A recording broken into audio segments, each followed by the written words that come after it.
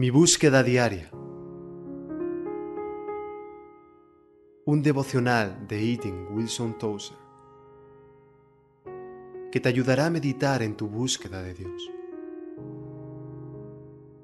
En Luz a las Naciones, canal cristiano de comunicación, puedes escuchar cada día este nuevo espacio.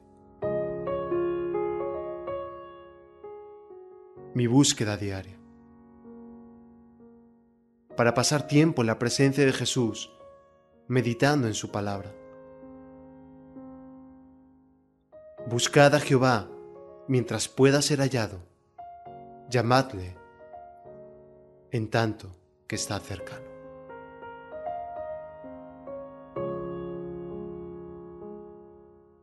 Día 22 de enero. Y de igual manera el Espíritu nos ayuda en nuestra debilidad pues qué hemos de pedir como conviene, no lo sabemos. Pero el Espíritu mismo intercede por nosotros con gemidos indecibles. Romanos 8, 26. La idea de que podamos adorar sin el Espíritu Santo no solo es errónea, también es peligrosa. La noción de que podemos poner al Espíritu Santo en un rincón para ignorarlo, acallarlo, resistirnos a Él y de todos modos adorar a Dios de manera aceptable es una gran herejía que tenemos que corregir. Solamente el Espíritu Santo sabe cómo adorar a Dios de un modo aceptable.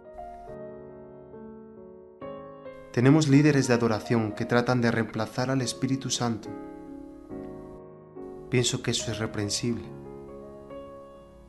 el que está ante una congregación y dirige la adoración tiene que ser alguien que se ha sometido a la refrescante obra del Espíritu Santo. La mejor preparación para la adoración no es el ensayo, sino la entrega, la rendición. Algunos de nuestros mejores himnos fueron compuestos por hombres y mujeres tan completamente quebrantados ante Dios que lo único que les importaba era Él. El apóstol Pablo declara que es imposible orar sin el Espíritu. Por lo tanto, las oraciones más poderosas son las que oramos en el Espíritu. Del mismo modo, no podemos adorar sin el Espíritu Santo. Es hora de que la Grey de Cristo vuelva a meditar en todo este asunto del lugar del Espíritu Santo en la iglesia de nuestro Señor Jesucristo. Ven, bendita, santa, celestial paloma, espíritu de luz, vida y amor. A nuestras almas revive.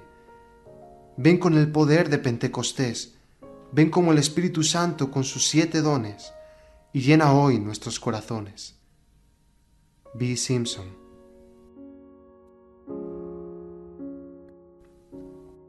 Oremos. Padre Celestial, te pido que me lleves a ese lugar en donde solo importas tú y que hagas lo que se requiera para que así sea. Te lo pido en el nombre de Jesús. Amén.